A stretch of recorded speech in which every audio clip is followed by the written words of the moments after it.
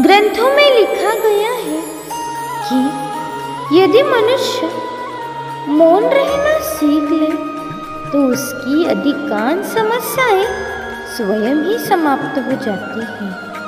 और सत्य में मौन में बड़ी शक्ति होती है, बड़ा बल होता है।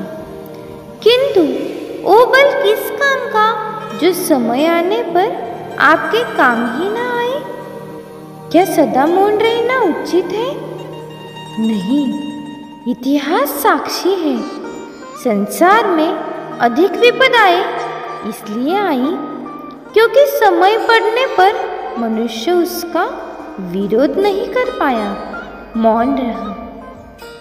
यदि मौन रहना शस्त्र है तो उसका सही समय पर उपयोग करना भी आवश्यक है।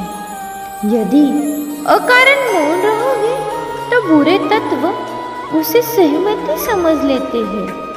फिर धीरे धीरे वो आपका स्वभाव बन जाता है, आपका अभ्यास हो जाता है, और फिर आपका व्यक्तित्व एक साधारण से पाषाण की भांति बन जाता है। अपनी वाणी का आवश्यकता पड़ने पर सदुपयोग कीजिए।